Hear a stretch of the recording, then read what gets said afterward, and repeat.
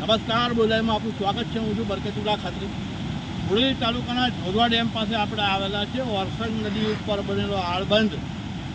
છેલ્લા બે ત્રણ દિવસથી છલકાઈ રહ્યો છે. બસો ચૌદ ફૂટનું એનું ક્રેસ્ટ લેવલ છે છલતીનું અને એ ક્રેસ્ટ લેવલની ઉપરથી પાણી અત્યારે જઈ રહ્યા છે. લગભગ અડધાથી પોણા ફૂટ જેટલા પાણી છે.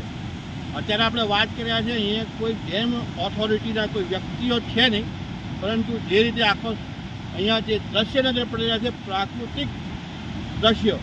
પાણીના એક વિશાળ વોટર બોડી બોડેલી પાસે વારસાઈ નદીના પટમાં જે ડેમ બન્યો છે, ત્યાં જળ સંગ્રહિત થયું છે. એ સાથે સાથે જે ડેમની છલટી પરથી પાણી પડી રહ્યા છે. જે દ્રશ્યો પણ ખૂબ આહલાદક નજારો થતી રહ્યા છે. તમે જોઈ શકો છો કે આ ડેમ છે, આ ડેમની જે ક્રેસ્ટ લેવલ છે, બસો ને ચૌદ ફૂટ છે અને જે ઉપરનો ભાગ છે તે લગભગ બસો ને પંદર ફૂટ છે. ક્રેસ્ટ લેવલની ઉપરથી પાણી જઈ રહ્યા છે, અડધોથી પોણા ફૂટ જેટલા પાણી જઈ રહ્યા છે.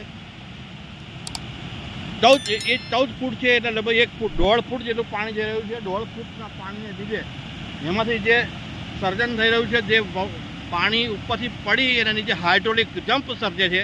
તે દ્રશ્ય અને નજારો ખૂબ આહલાદક નજરે પડે છે.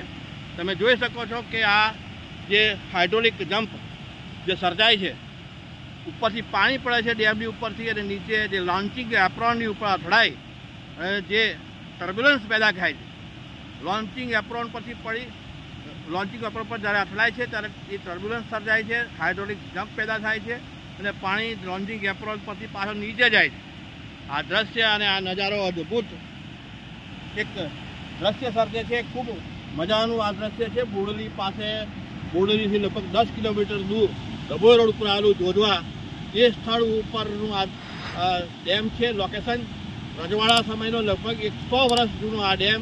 એક સો વર્ષ જૂના ડેમની ઉપરથી જે હજુ આજે કાંકરી નથી ખરી, એવું એક સદી જૂનું આ એક સ્ટ્રક્ચર સિવિલાઇઝેશન સ્ટ્રક્ચર આપણે સો વર્ષનું આપણા જે બોરડીના પુલ એક્વેડક જે હજુ બને છે અને બીજા વર્ષે ધોવાઈ જાય છે. એવા જ્યારે ઘટનાક્રમ આપણે સાંભળીએ છીએ ત્યારે એમ લાગે કે સો વર્ષ જૂનો અડીખમ આ રાજવાડા સમયનો અંગ્રેજોના જમાનાનો બનાવેલો ડેમ, જેની એક કાંકરી પણ ખરી નથી. ત્યારે આ ડેમ ઉપરથી જે દ્રશ્યો, પાણીનો નજારો જે સર્જે છે વોટર બોડી જે દ્રશ્ય સર્જે છે, અદ્ભુત અને આહલાદક પ્રકૃતિનું સૌંદર્ય, એ પણ ખૂબ મજાનું છે. પાણીને જોવા માટે લોકો આજુબાજુના વિસ્તારમાંથી પણ અહીંયા આવે છે. જોજવા એક પર્યટક સ્થળ તરીકે પણ ધીમે ધીમે પ્રગતિ પામી રહ્યું છે. અહીંયા વર્ષો પહેલાં રેસ્ટ હાઉસ પણ હતું. જીર્ણ અવસ્થામાં છે બિન ઉપયોગી છે. આ સ્થળને પર્યટક સ્થળ તરીકે પણ વિકસાવવાનો પ્રયાસ કરવા જોઈએ. લોકો અહીંયા આજુબાજુથી બોડેલી સહિત વિસ્તારમાંથી આવે છે.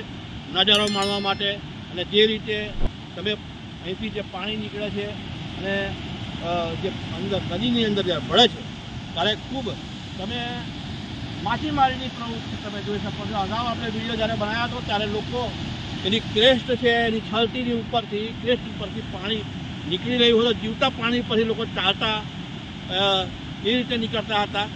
પોતાનો જીવને જોખમે મૂકીને. અમે વાતને ઉજાગર કરી, એ સાથે અહીંયા હોમગાર્ડ જવાનોને પણ નિમણૂક કરવામાં આવી છે તેઓ કોઈ પણ આ પ્રકારની પ્રવૃત્તિ કરતા હોય, જતા આવતા હોય, એમને રોકે પણ છે. આપણે તંત્રને પણ અભિનંદન પાઠવે છે કે વાતને સંજ્ઞાનમાં લીધી, બોલી દ્વારા જે દ્રશ્ય પ્રસારિત કરવામાં આવ્યા. જે વાત કહેવામાં આવી એને સંજ્ઞાનમાં લેવામાં આવી અને જે બાબત સામે આવી એને એ સંજ્ઞાનમાં લઈ અને હોમગાર્ડ જવાનોને નિમણૂક કરી જે લોકો આવતા જતા કોઈ પણ લોકો હોય, જે બાળકો સાથે જતા હોય, તો તેઓને રોકે છે અને આ જગ્યા જોખમી હોવાને કારણે અગાઉ જે ભૂતકાળની ઘટનાઓ બની, તે ઘટનાઓનું પુનરાવર્તન ન થાય, કોઈનો જીવ ન જાય, તે માટેના પણ તંત્ર દ્વારા પ્રયાસ કરવામાં આવ્યા છે. થેન્ક યુ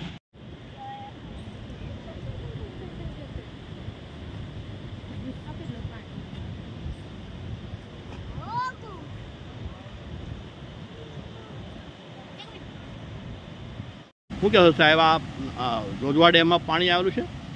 જોવાયા છો? ખેડાથી અમે મિત્રો સાથે જોજવા ડેમ જોવા આવ્યા છે. ખૂબ સરસ કુદરતી સૌંદર્યની વચ્ચે ડેમ આવેલો છે. ગાયકવાડ વખતનો ડેમ છે. અને ખરેખર ડેમ જોવો શું છે ડેમ? એ આ બનાવટથી જોઈ શકાય છે. અને ખૂબ જ સરસ દ્રશ્ય છે અહીંયા. મજા આવે એવું સ્થળ છે. ખૂબ મજા આવે છે. અહીંયા આવીને અને મનને શાંતિ વળે છે શું નામ તમારું? હેમંત વાનખેડે. હાથે આવ્યા છે ભાઈ? એ ભાઈ અમારા વિમલભાઈ સોલંકી છે. સંખેડા. સંખેડા.